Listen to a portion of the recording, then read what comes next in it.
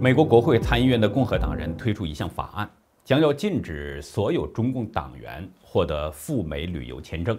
参与这项提案的呢，有资深共和党参议员、情报委员会副主席马可·卢比奥，共和党联邦参议员凯文·克拉默、里克·斯科特，还有汤米·图博维尔等等。根据马可·卢比奥办公室十一月十八号发出的声明。这项法案呢，就是为了遏制中国公民加入中国共产党，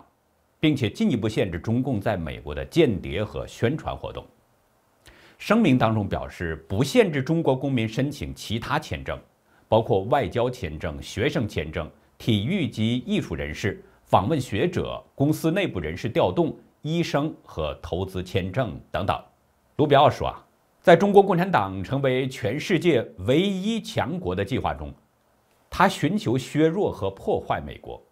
每个共产党员都被要求肩负实现这个目标。允许中共党员在美国度假、购物或经商是不符合常理的。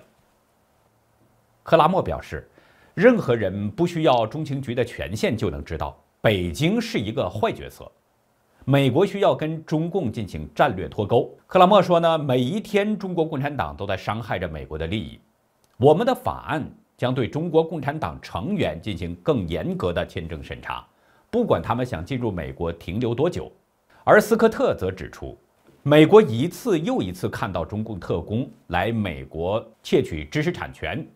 在美国的土地上追踪美国公民，以及渗透到美国的关键研究机构，这些都是可怕的事实。他说：“共产党中国是我们的敌人，正在寻求全面统治世界。”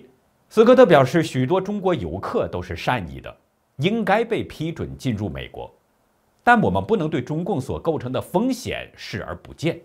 联邦政府必须要彻底的审查，确保来自共产主义中国的访客不是中共特工，或者与中国共产党有任何关联。斯科特还敦促其他的参议员一起来支持这个法案。他认为这项法案将保证美国国家的安全，让外国的间谍远离美国，并且保护美国宝贵的商业机密。图博维尔说呢，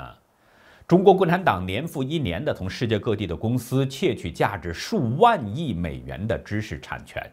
美国不会容忍这种明目张胆的盗窃行为。他说，中共在世界舞台上扮演的日益敌对的角色。以及致力于网络和知识产权犯罪的意愿，使他们成为美国的头号对手。允许那些会伤害美国的人，以任何理由合法进入到我们的国家是没有道理的。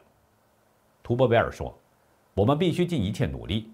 阻止外国对美国社会和经济的有害干预，包括禁止中共成员获得 B1 和 B2 非移民签证。”